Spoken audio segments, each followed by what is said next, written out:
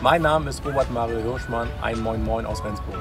Ich bin Immobilienberater bei der Sparkasse Mittelholstein und nebenbei Sportwart beim Rendsburger Bicycle Seit mittlerweile acht Jahren bin ich begeisterter Rennradfahrer und ich möchte euch heute auf eine Aktion der Sparkasse aufmerksam machen. 20 für 20. Worum geht es? Ganz einfach.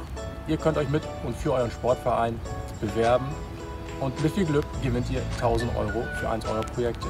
Also Leute, einfach, tut nicht weh, rein ins Internet, bewerben und mit viel Glück seid ihr mit 1000 Euro dabei.